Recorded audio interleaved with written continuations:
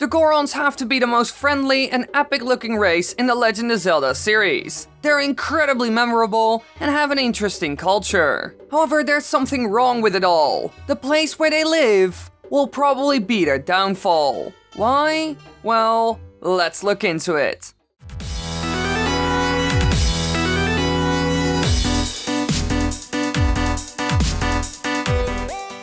For as long as we can remember, Gorons have always been living on the famous Death Mountain, one of the highest points in the entire world. It's a huge place with all kinds of weird creatures and plants like the Dodongos and bomb flowers. Compared to the other parts of Hyrule, it's very different. It has become a well-known location within the series and is beloved by many. However, there are some problems with this, because this place will, and probably has wiped out the Gorons multiple times in the entire history of the franchise. Now, you might think the following. But how, Wily?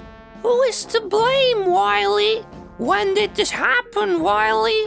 What happened, Wily? Well, everything in time. First, we gotta take a short look at the Gorons themselves, because there are multiple ways how this mountain can ruin it all for them. Now, they are a humanoid rock-eating race, and despite their hulking appearance, they are a relatively peaceful species. They are usually considered to be of low intelligence, although there's no particular indication of this in the games. Besides that, they all live and work together, and a lot of their culture is based on warrior traditions. They're a proud race, and losing face is one of the things they consider a sin. Just look at the circumstances in Twilight Princess. Now that we know what we could expect from them, we can take a look at all the ways Death Mountain could be their downfall. In the series itself, there have been a couple of events that already created a huge amount of problems for them. One being the food supply. In Ocarina of Time, their primary source of food is rocks from the Dodongo's cavern. However, when Ganondorf seals the cave because of a conflict with them, they face the threat of starvation and extinction as a result of being separated from the nutritious rocks of the Dodongo's cavern. Now, as far as we know, they have always eaten this stuff in every game. There must be a specific kind of rock they need to live. Because outside of the Dodongo's cavern, there are also a ton of rocks, but for some reason they're not good enough. Now in Ocarina of Time, the Gorons are saved from this by Link. He opens the cave and defeats the enemies found within. So the Gorons were lucky as far as we know. Without the boy in green, they would have starved, and all of this can happen again. The only thing that happened is that a rock fell down and blocked the entrance. The cave started to fill up with deadly creatures found in the area, and the bomb flower harvest that year was terrible. So it's a number of things combined, but still it could happen again. And if it does, could they save themselves? Well, out of all the possible things that could happen, this is the easiest one to deal with. In Ocarina of Time, they also asked the Hylian King for help, so if they can't fix it, their allies might be able to. It would certainly take some time and put them in a tough spot, but in the end, it's quite manageable. Now if these rocks are only found on Death Mountain is unknown, but if that's the case, then it will never work out in the long run. At some point they will run out, and they will have a huge problem if there is no other place to go. So this could still be a bad thing in the end. On to the next option, one that's a lot darker and deadlier as well. The volcano turning against them. There are two options of what could happen and it all depends on one thing.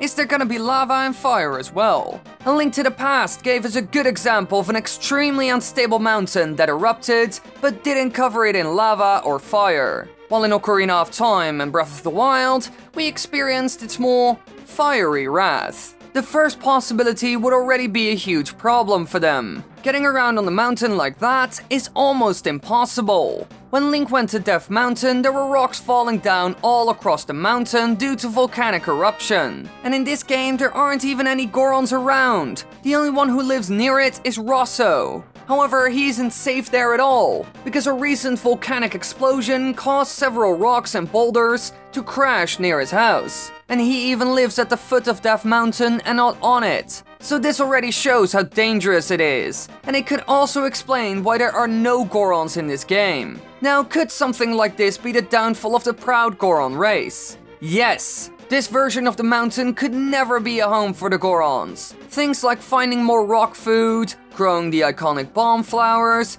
building mines like they did in Twilight Princess, and a whole lot more are impossible now. In these circumstances, their main city would probably collapse at some point, taking out a huge number of their population. Now, would all of this be any worse if there was also lava involved? Well, yes, and for multiple reasons actually. We have already seen in Breath of the Wild that Gorons can survive the most intense heat in the world, and being surrounded by lava lakes is something they can deal with. Now, if the volcano erupts and covers the whole mountain, they could recover from it.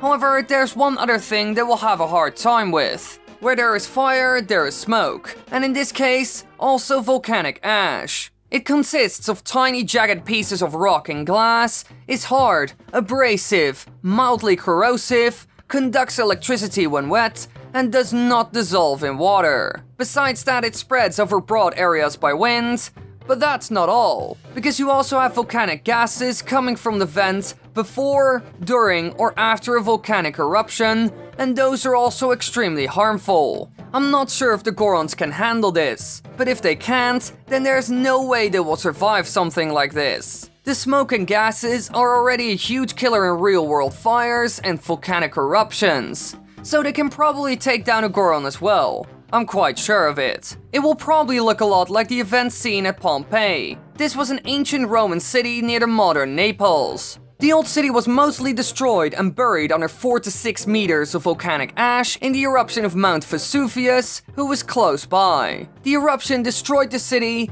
killing its inhabitants and burying it under tons of ash. Almost no one survived this, so clearly it can be devastating.